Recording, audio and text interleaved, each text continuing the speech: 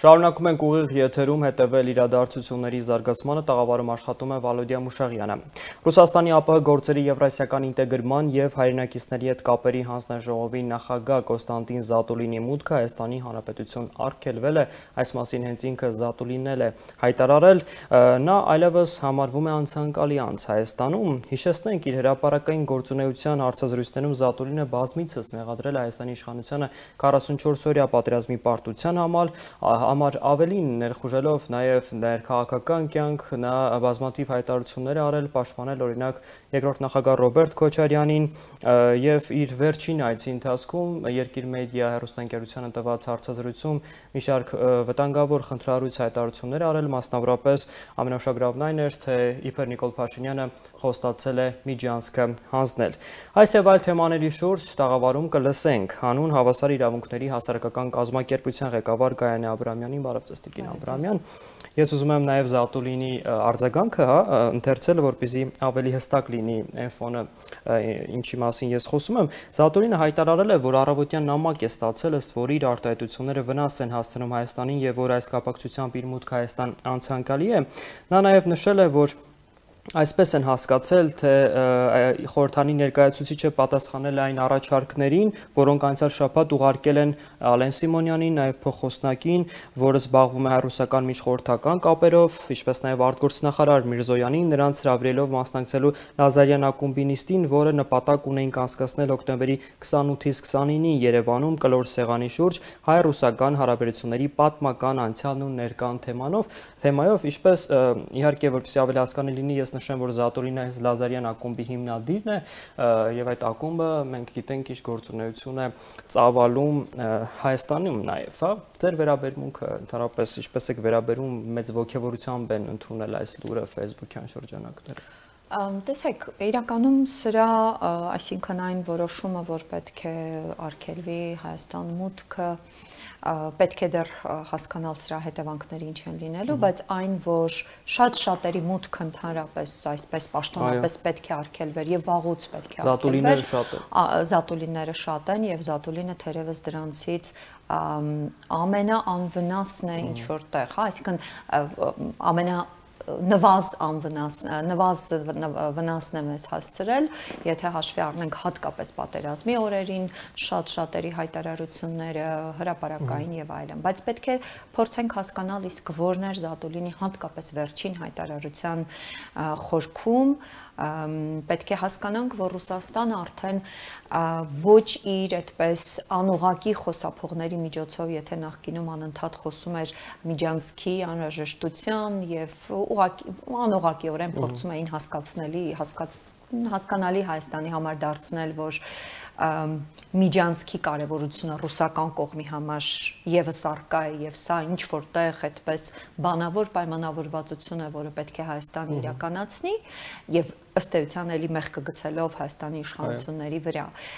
Արդեն չեն խորշում եւ դա անում են զատոլինները, իսկ այս դեպքում արդեն հստակ պաշտոնական խոսափողներով, ինչը խիստ վտանգավոր է եւ ինչի դեպքում այո, որոշակի քայլեր, պաշտոնական քայլեր Հայաստանը թերևս պետք է իրականացնել։ Գուցե սրա հետևանքները իսկապես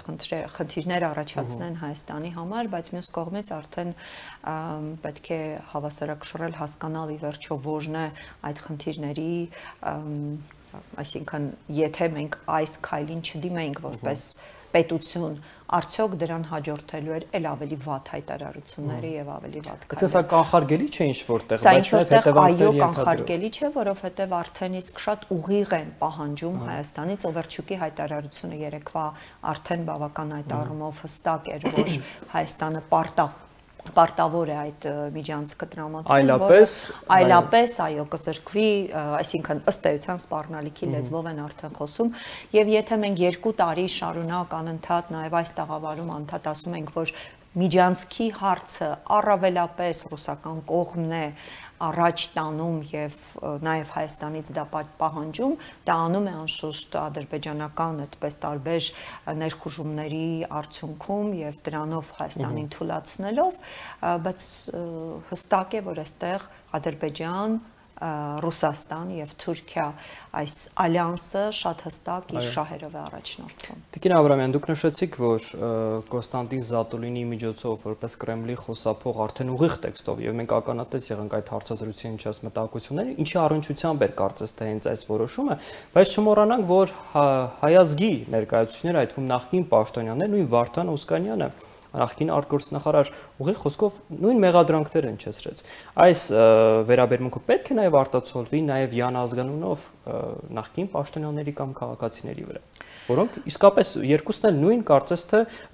մտադրությամբ են այդ հայտարարություններն արել։ Տեսեք, Օսկանյանի հրաապարակային հոդվածը, որ գրվել էր, ավելի շատ վերլուծություն էր իրավիճակի եւ ներկայացնում էր, որ այս իրավիճակը իրեն թույլ է տալիս մտածելու, որ եղել է բանավոր պայմանավորվածություն։ Զատուլինը այլ կերպ է դա ասում, այսինքն այստեղ ոչ թե դեդուկտիվ այդպես վերլուծությունների արդյունքում հանգում են, այլ հստակորեն, այլ ասում է, որ տրվել է բանավոր կամ ասվում է, որ գրավոր նոյեմբերի 9-ի փաստաթղթում է հստակ նշված, որ պետք է լինի միջանցք։ Մինչդեռ դա բացարձակ սուտ է, մինչդեռ դա որևէ կերպ չի համապատասխանում, այսինքն նաև այստեղ պետք է դիտարկենք, թե որքանով եւ ինչքան նույնական են Ալիևի եւ Զատոլինի, եւ Զատոլին ասած այդ նույն Ռուսաստանն է, այսինքն այս դեպքում այդտեղ ոչ ուղակի խոսափողներ չեն հստակ ներկայացուցիչն է իշխանության, ազգային ժողով իրենց խորհրդարանի եւ այստեղ ուղակի տարընթերցում պարզապես չի կարող լինել, հա, այսինքն ուղիղ ասում են կա փաստաթղթում միջանցքի հարց, որը գուցե դուք չեք տեսնում, բայց այնինչ Ալիևը ասում է դա ճիշտ է, այսինքն Ալիևի շահերի պաշտպանությամբ որ հեղինակը անձամբ Պուտինն է։ Այո, որը միջնորդվել է հենց Պուտինի կողմից, որը ըստ էության անգամ կարող ենք ասել հենց Կրեմլում գրվել է եւ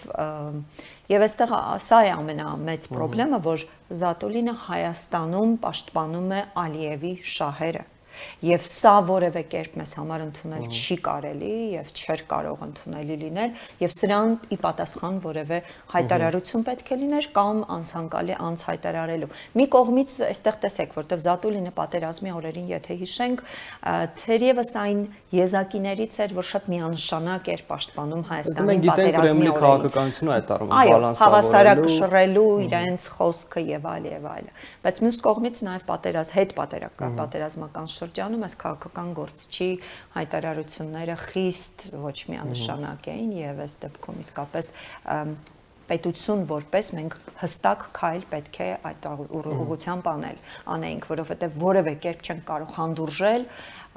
մեկին որը հայաստանյան մեդիաներում պաշտպանում է Ալիևի շահը Իսկ իդեպ այդ մեդիաները, որոնք այդ հարթակները տրամադրում են, պետք է որոշակի առումով պատասխանատվության գոտում հայտնվեն թե ոչ։ Չէ, դա վտանգավոր իհարկե ճանապարհ կլինի, եթե ցանկացած հարցազրույցի համար պատասխանատվության ենթարկվեն մեդիաները, սա դժվար, սա անցանկալի իհարկե զարգացում կարող զարգացման կարող է տանել, բայց մենք օրինակ դեմ չենք այն նախագծին, որը եւ ընդհակառակը քաղաքասարակությունը առաջարկում էր շատ վաղուց, հատկապես առաջի երկրորդ նախագահի Ռոբերտ Քոչարյանի հայտարարությունից հետո, որ պետք է մտածել,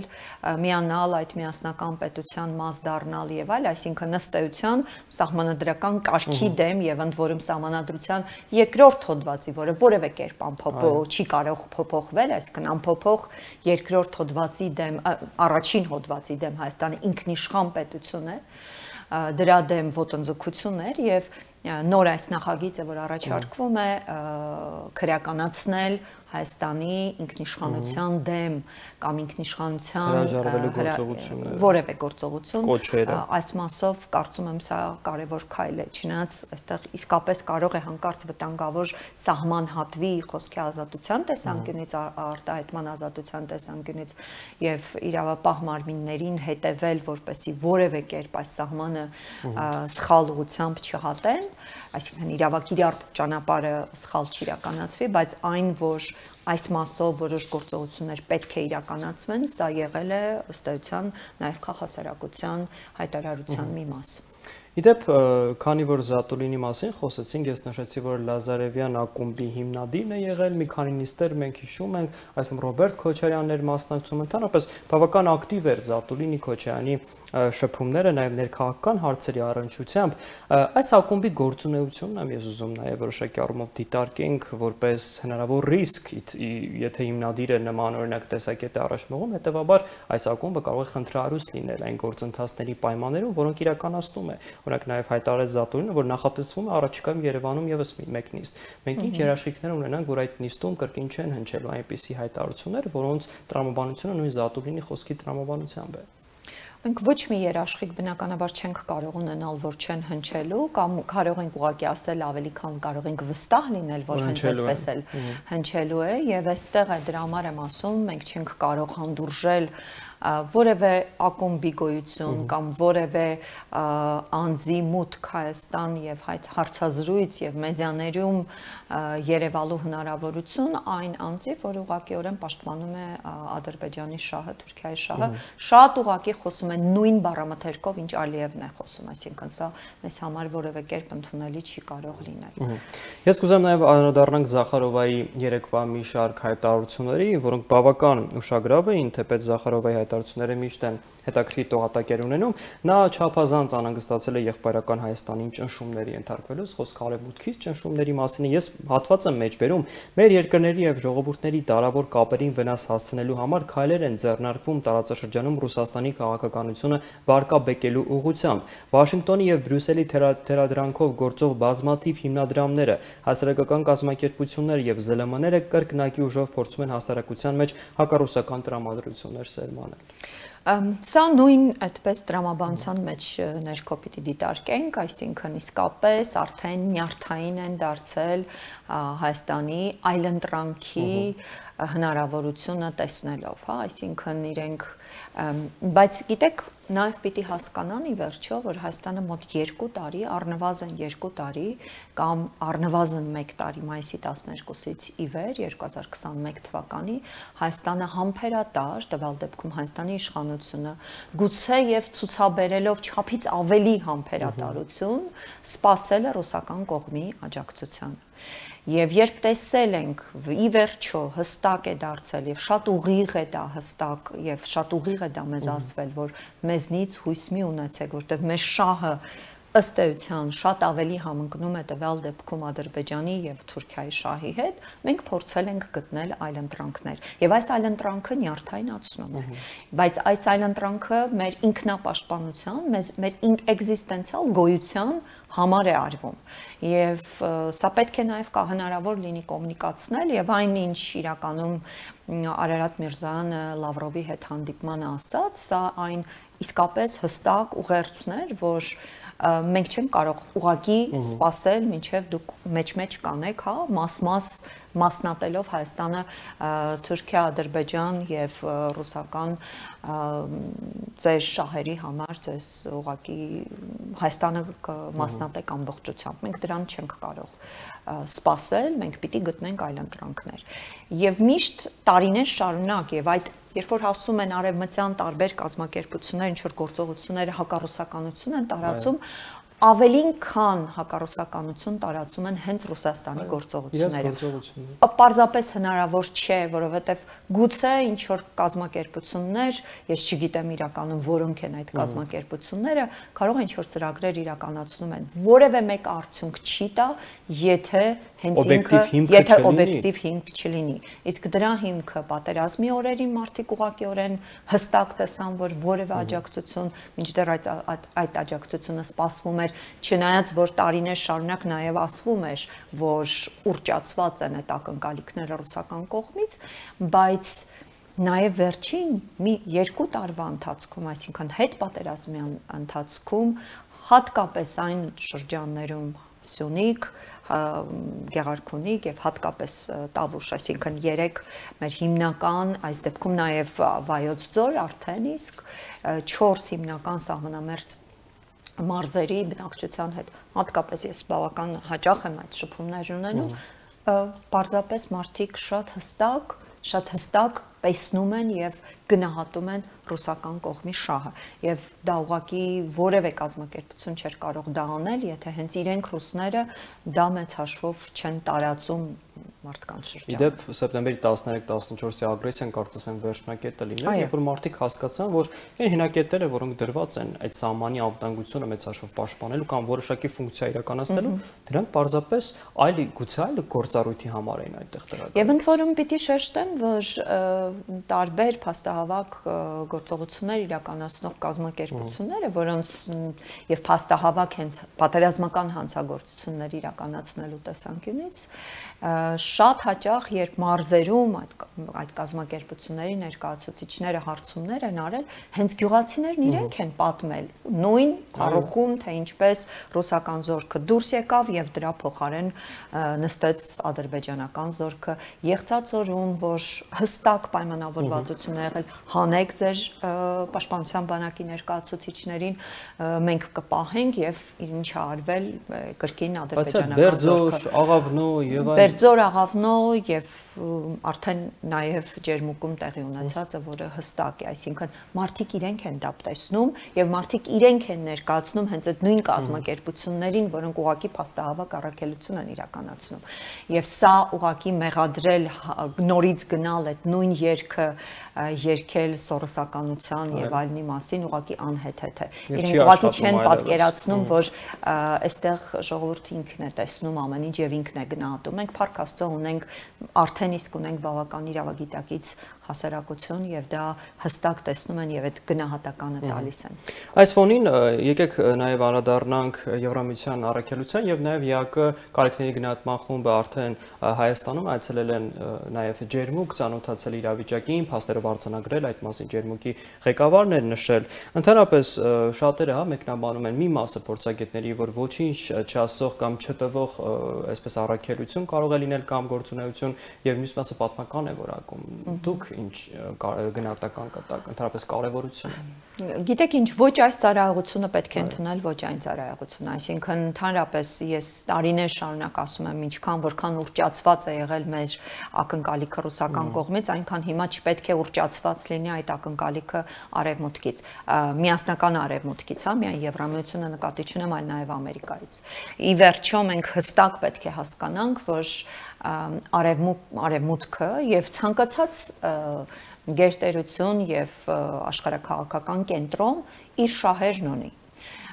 եւ դրա համար որևէ ակնկալիք ձևավորելու տեսանկյունից եւ ակնկալիք ձևավորելուց առաջ պետք է հասկանանք որոնք են այդ շահերը։ Հիմա մենք հստակ հասկանում ենք, որ ռուսական կողմի շահը տվյալ դեպքում առավելապես հատկապես միջանցքի տեսանկյունից, իսկ սա թերևս ամենա այս պահին ամենա Հայաստանի համար ամենակարևոր թեման է, որովհետև եթե մենք կորցնում ենք Սյունիքը եւ կորցնում ենք, որովհետև միջանցք տալով ըստ էության մենք կարող ենք նշանակությունն ենք մեր նշանակությունն ենք ամբողջությամբ կորցնում։ Իսկ Սյունիքի նաեւ նշանակությունն ենք կորցնում հետագայում որևէ կերպ դերակատար դառնալու համար նվազագույն դերակատար, հա, այսինքն մենք առանց այն էլ առանձնապես հատկապես կոմունիկացիաների տեսակետից մենք առանձնապես շատ հնարավորություններ չունենք, հա, այսինքն շատ հաճախ եւ շատ հանգիստ այդ շրջանցումն իրականացում է եւ դա էր մոտավորապես օվերշուկը ակնարկում։ Այսինքն մենք սա մեր այն միակ հնարավորությունն է ի վերջո բանակցելու սեղանի շուրջ լինել եւ ոչ թե մեր փոխարեն այդ սեղանի շուրջ բանակցեն։ Եվ այս դեպքում ռուսական շահը ամբողջությամբ Ադրբեջանի ու Թուրքիայի կողմն է։ Իսկն այստեղ ուղակի այլ տարընթերցում չկա, այստեղ ուղակի կասկած անգամ չենք կարող ունենալ։ Այնինչ արևմուտքից ենք լսում եւ վերջերս ես նաեւ Բրյուսելում եմ եւ շատ ուղիղ եմ դա հստակ փորձել հասկանալ, շատ ուղիղ ենք հասկացել, ուղիղ է մեզ ասվել, որ արևմուտքը չի հանդուրժելու եւ սա նաեւ ուղիղ ասվել է Ալիևին չի հանդուրժելու միջանցքի հնարավորություն, այսինքն էքստերիտորիալ որևէ ճանապարհի մասին խոսք գնալ ուղակի չի կարող լինել եւ սա ամենաբարձր մակարդակից է ասվել։ Եվ մենք սրա պատասխանը նաև տեսանք Ալիևի Աստանայում ելույթի ընթացքում, որտեղ արդեն այդպես միանգամից արեմուտքում մերժում ստանալուց հետո միանգամից գնաց այնտեղ եւ սկսեց նոր սիրաշահման այդպես ընթացք Ռուսաստանի հետ։ Եվ սրա արդյունքները կամ հետևանքները Հայաստանի դեպքում հետևանքները մենք կտեսնենք դեռ։ Եվ այս առումով մենք պետք է հնարավորինս շատ ավելի ուժեղ եւ ամենօրյա process-ով աշխատենք արևմուտքի հետ որքանով հաջողության կհասնենք, սա իսկապես բարդ է եւ բարդ process է, բայց այն, որ եթե մենք մայիսի 12-ից հետո, երբ որ ես ասում էի Եվրամիության միջնորդական առաքելություն, ինձ ասում էին դա անհնար է ընդ որում ամենաբարձր մակարդակով ասվում էր, որ դա անհնար է դեռևս։ Մենք հասանք ի վերջո նաև նրան, որ դա հնարավոր դարձավ եւ հնարավոր է դեռևս շատ ավելինին հասնել։ Ուղղակի դրա համար պետք է աշխատանք, դրա համար պետք է նաեւ երկարաժամկետ ռազմավարություն հասկանալու համար որն է ի վերջո մեր շահը եւ այդ շահը ոնց կարող ենք պաշտպանել։ Ես այստեղ նաև ուզում եմ խոսել ԻԱԿ առաքելության վերաբերյալ Բաքվից եւ նաև Անկարայից, ինչու ոչ, հնչող բավական այսպես նյարդային արձագանքներից, ինչու այդ արձագանքները կան, ի վերջո ոչ թե կարծում եմ նրա համար, որ ԻԱԿ-ն կարող է արձանագրել Ադրբեջանի ագրեսիան, ի վերջո շատ կազմակերպություններ, երկրներ արձանագրեցին։ Գուցե խնդիրն այն է, որ ԻԱԿ-ն կարող է հող նախապատրաստել Միսկի խմբի վերակենդանացման համար, ինչը անհանգստացնում է Ադրբեջանը։ Թերևս հենց իրենց անհանգստատ անհանգստության հիմնական մասը դրան է վերաբերում, այսինքն իրենք ՀՀԿ-ի հիշենք ՀՀԿ-ի գրասենյակի ընդհանրապես փակում Ադրբեջանում տարիներ շարունակ դե բնականա որտեղ պարիտետը պետք է պահեին, այսինքն բայց իրենք նախաձեռնեցին հենց իրենց երկրում ՀՀԿ-ի գրասենյակի փակումը։ Այսինքն իրենք ՀՀԿ-ի դեմ ուղված քայլերը վաղուց են նախաձեռնել եւ սա է դրա համար եմ ասում ես պետք է այդ ռազմավարությունը երկարաժամկետ երկարաժամկետ ռազմավարություն, բայց կարճաժամկետ նաև քայլերի հերթականություն գործողությունների պլան, որը ունի Ադրբեջանը եւ որը Ադրբեջանը արդեն իրականացնում է վերջին 10 տարիներին։ Եվ այդ տրամաբանությունը գրեթե չի շեղվում, իրենք շատ հստակ գիտեն որտեղից որտեղ են գնում։ Ընթացքում փորձում են, փոխում են մարտավարություններ, ըստ իրավիճակի եւ այդ ըստ իրավիճակը իրենք բավական արագ են կարողանում մանևրել տարբեր դիրքերով եւ այլն, բայց ունեն այդ երկարաժամկետ պլանը։ Եվ ԵԱՀԿ-ի դեպքում այդ երկարաժամկետ պլանից չեն հրաժարվում։ Իրենք փակեցին գրասենյակը, իրենք հասան նաև նրան, որ ըստ էության ԵԱՀԿ Միսկի խումբը պատերազմից հետո գրեթե ոչ մի անգամ չի հանդիպել նորմալ, հա, այսինքն մեկ ինչ որ կիսահանդիպում կարող ենք ասել, դե վիժեցնելու պրոցեսը Ռուսաստան եւ Ադրբեջան։ Եվ երկրորդ, նու պատերազմից հետո արդեն այդ գործողությունը շատ ավելի խորությամբ սկսվեց։ Հիմա սա եւս մեկ այլ քայլ է այդ նույն գործողությունը իրականալ։ Իրանք որևէ կերպ չեն ուզում, որովհետեւ եթե ընդունում են Միսկի խմբի գոյությունը, ընդունում են Արցախյան խնդրի գոյությունը ինքնին։ Բայց պետք է նաև հասկանանք, որ մեծ հաշվով արևմուտքում, հատկապես այս դեպքում ես կարող եմ ասել արևմուտքում, որտեղ նոր եմ այդ հանդիպումներից վերադարձել, հստակ է այդ ընկալումը, որ այո, Արցախյան հարցը չի լուծվել։ Եվ նաև կարևոր է, որ հստակ է նաև ընկալումը, որ քանի Արցախյան խնդիրը եւ նաեւ կարգավիճակի որոշակի հարցերը չեն լուծվել, մենք միևնույն է խաղաղության այդ պայմանագիր կոչված է եւ իրապես երկարաժամկետ խաղաղություն ունենալ չենք կարող սա իրականում լավ է, որ դեռ ընկալվում է եւ այս ուղությամբ դեռ պետք է շատ աշխատել եւ անընդհատ հիմա խոսվում է ռուսական կողմի այդ առաջարկների մասին, արևմուտքի առաջարկների մասին, ի վերջո նաեւ տեղի ունեցավ այդ արտահոսքը ամերիկյան փաստաթղթի եւ այլն եւ սրանք բոլորովին այդպես անիմաստ չի արվում եւ հստակ արվում է նաեւ ռուսական կողմի միջամտությամբ եւ որքան գիտեմ հենց նաեւ ռուսական կողմն էլ այդ արտահոսքը իրականացնել իրականացրել էր ցավալիորեն գուցե նաեւ որոշակի այդպես Հայաստանից ինչ որ այդպես 5-րդ շարասուն ասեմ, ակտիվացման ակտիվացման նաև դրսևորումներով կամ նաև ուղիղ ներգրավվածությամբ, բայց այնուամենայնիվ հստակ է, որ երկու այս առաջարկների մեջ որովհետև շատ կա շահարկում, հա, մենք պիտի հասկանանք ի վերջո ռուսական կողմը մեզ հիմա առաջարկում է իբրև թե առաջարկում է թողնել Արցախի հարցը հետագայի համար եւ սա հանրության մեջ ներարկվում է որպես տեսեք ռուսները մեզ ուզում են որտեվ եթե թողնում ենք ապագային ապա Արցախը մերն է մնում բայց եկեք հասկանանք իրապես այդպես է թե ոչ ի վերջո ռուսական կողմի միակ ցանկությունն այն է որ կոնֆլիկտը չլուծվի եւ ինքը ունենա այո լծակներ եւ ազդեցության հնարավորինս այդպես լծակներ եւ Հայաստանի եւ Ադրբեջանի վրա։ Արևմուտքը բնականաբար կողմ չէ Արցախի վերջնական կողմ է Արցախի վերջնական լուծմանը, որը տվյալ դեպքում այն լուծումը, որ իրենք են պատկերացնում, բնականաբար մեծ ձեռնտու չի, բայց նաև ընկալում են, որ այնտեղ մարդկանց իրավունքները պետք է պաշտպանվեն, նաև հետագա կարգավիճակի կարգավիճակի հարցը հետագայի համար, բայց մյուս կողմից իսկ ինչ են ավելի շատ ուզում ռուսները, այսինքն ինչ է տրվելու դրա դիմաց միջանցք եւ այդ միջանցք տալը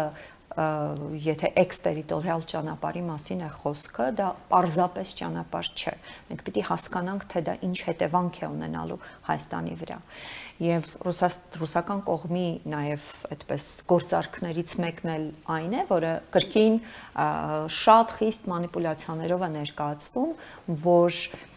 այնքան թույլատնեն Հայաստանին, հնարավորինս նաև հենց